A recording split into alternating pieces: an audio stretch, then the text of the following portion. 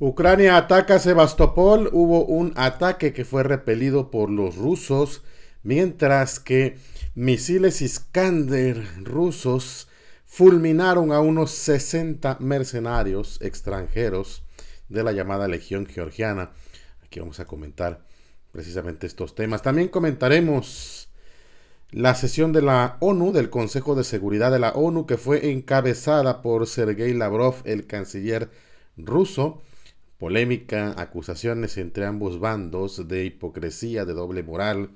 Estuvo interesante el jaloneo en la ONU.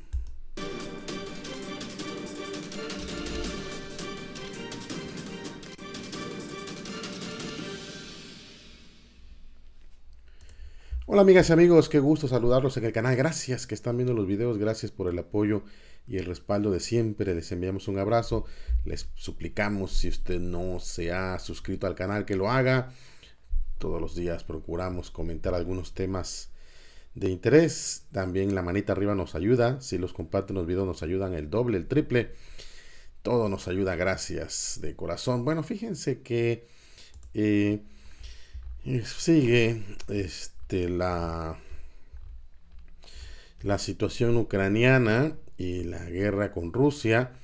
En el tema de Badmut, eh, los avances a un par de cuadras, unas calles más, las que avanzaban en Badmut los rusos y el grupo Wagner, eh, siguen avanzando, pero va a ser lento. Muchos calculan que hacia mediados de mayo ya Badmut esté despejado y entonces vaya Rusia sobre otras dos ciudades en esta parte del Donbass. Fíjense que la Rusia realizó el fin de semana eh, ejercicios navales en el mar de Japón.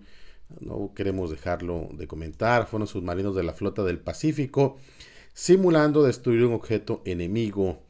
Esto se informaba precisamente eh, por la agencia Interfax. Dos submarinos diésel eléctricos realizaron un ejercicio antisubmarino táctico en el mar de Japón para buscar y destruir un submarino enemigo simulado, dijo la agencia, citando un comunicado del servicio de medios de la flota. Utilizaron un torpedo de entrenamiento para atacar el objetivo. Los submarinos Project 3636 pues son de la, una clase rusa de submarino de ataque diésel eléctricos conocida en Occidente. Bueno, ahí está. El asunto es ese. Eh, hubo este asunto lo que no les fue tan bien y lo que sí fue real fue la destrucción de un centro operativo de la llamada Legión Georgiana. Son extranjeros, se informaba por parte de los medios eh, de Rusia que las Fuerzas Armadas rusas eliminaron con los complejos balísticos Iskander hasta 60 militantes de la Legión Ucraniana en un edificio de la Biblioteca en la República Popular de Donetsk. El 21 de abril se empleó el sistema operacional y táctico de misiles Iskander para destruir un depósito de arsenal y un punto de despliegue de mercenarios estacionados en el edificio de la biblioteca en Konstantinovka, República Popular de Donetsk. Como resultado del ataque fueron eliminados hasta 60 militantes de esta legión georgiana y 15 piezas de equipo militar localizadas en el territorio adyacente. Otros 20 mercenarios más resultaron gravemente heridos. Entonces, desde Rusia indicaron que todos estos mercenarios estuvieron involucrados en crímenes de guerra contra soldados rusos y serán castigados. Entonces, eh, pues ahí está el castigo. El castigo fue unos Iskander lanzados en contra de la sede que habían utilizado estos mercenarios y los borraron del mapa.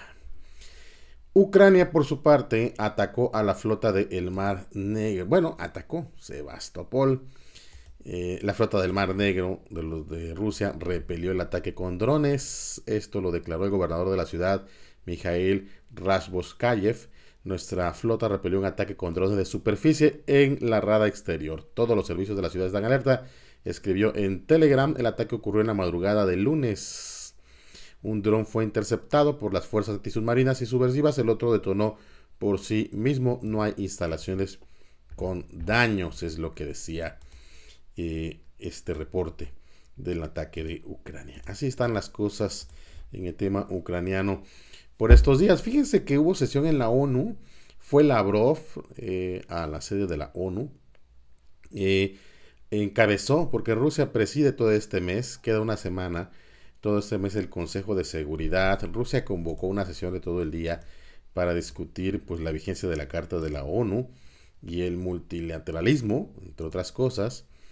Eh, ahí Lavrov habló fuerte diciendo quién le autorizó a la minoría occidental a hablar por el resto del mundo. Vamos a ver parte de lo que decía Lavrov. Никто не разрешал западному меньшинству говорить от имени всего человечества. Надо вести себя прилично и уважать всех членов международного сообщества. Насаждая основанный на правилах порядок, его авторы высокомерно отвергают ключевой принцип Устава ООН – суверенное равенство государств. Квинтэссенцией комплекса исключительности стало гордое заявление главы дипломатии Евросоюза Барреля о том, что Европа – это райский сад, а остальной мир – джунгли. Процитирую также совместное заявление НАТО и Евросоюза от 10 января этого года – в котором говорится, я цитирую, «Объединенный Запад будет использовать все имеющиеся у НАТО и Евросоюза экономические, финансовые и, обращаю особое внимание, военные инструменты для обеспечения интересов нашего одного миллиарда.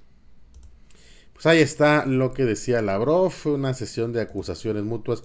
Por ejemplo, acusaba a Lavrov de que el doble rasero estadounidense porque no permitió, no le dio visas a los periodistas rusos, así que Rusia no llevó su cobertura de medios, lo que obviamente deja en control de Occidente o de Estados Unidos el tema discursivo, es decir, solo los medios occidentales solo van a dar la versión de que Rusia fue ahí que le pasaron encima, como lo vamos a ver ahorita.